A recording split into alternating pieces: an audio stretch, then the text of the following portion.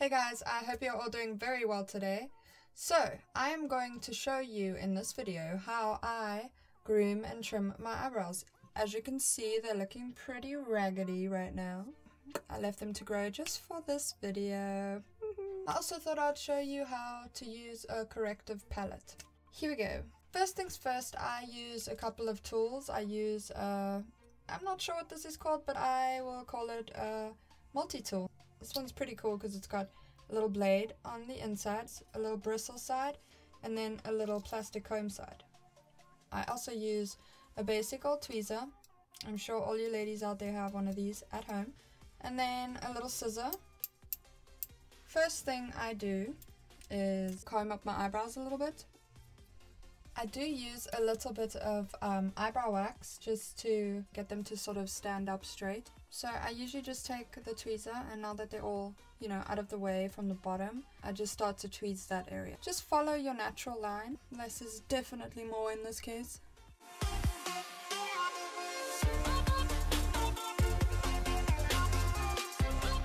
Alright, so once you have plucked around the area, And I usually go ahead and I take the um, comb side again with a little bit of wax.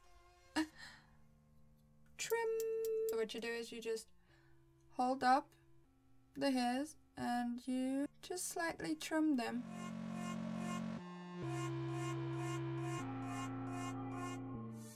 Obviously don't go too overboard with this, but just so that you get the little sections where the hair starts to curl cut off. That's essentially what you're trying to do over here.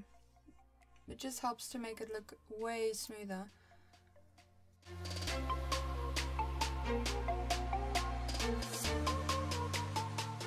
It's just a quick fix for when your eyebrows are looking a little crazy, alright?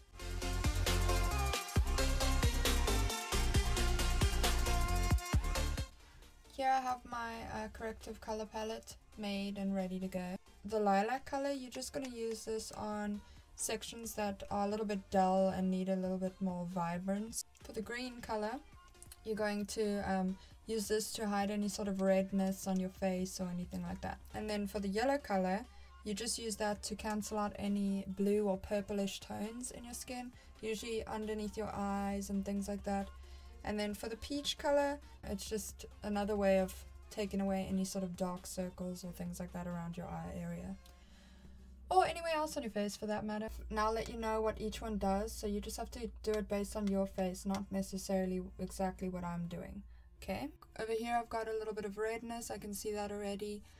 In the corner of my eyes, I can see I have some purple sort of coloring over there. Let's see what we can do over here.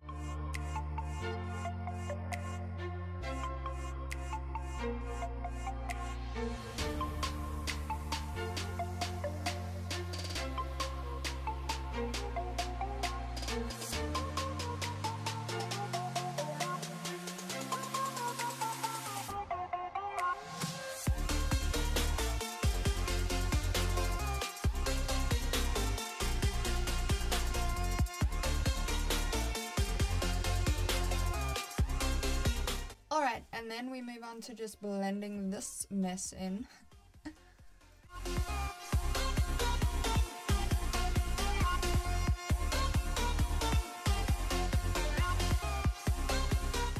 and then of course we just add foundation.